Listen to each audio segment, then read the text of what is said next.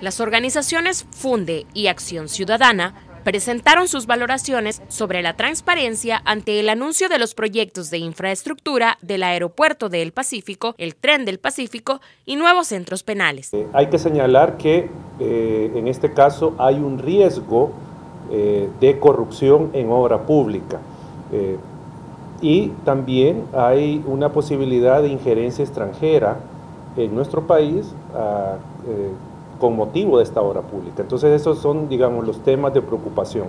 Las organizaciones hicieron un llamado al Ejecutivo para aplicar los estándares internacionales y la adopción de mecanismos de transparencia que permitan prevenir la corrupción. Eh, hemos identificado tres áreas eh, importantes. La primera, en la adjudicación. Eh, una vez adjudicada la obra, también es importante mantener control ciudadano sobre la ejecución de los proyectos, que nos permitan eh, determinar si se está ejecutando adecuadamente los fondos, si los bienes o las obras que están siendo realizadas están dotadas de la calidad necesaria, eh, si se está haciendo un uso razonable de los fondos públicos.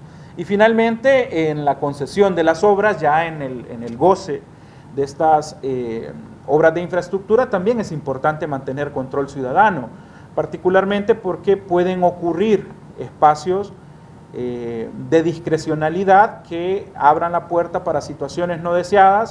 Los proyectos fueron analizados bajo la Iniciativa para la Transparencia en el Sector de la Construcción, COST, y los resultados ponen en evidencia la falta de información disponible en relación a estos proyectos. Además, el monitoreo advierte sobre posibles riesgos en la ejecución de obras municipales que están a cargo de la Dirección de Obras Municipales, DOM. Este es un informe de Clarisa Ramos para la prensagráfica.com.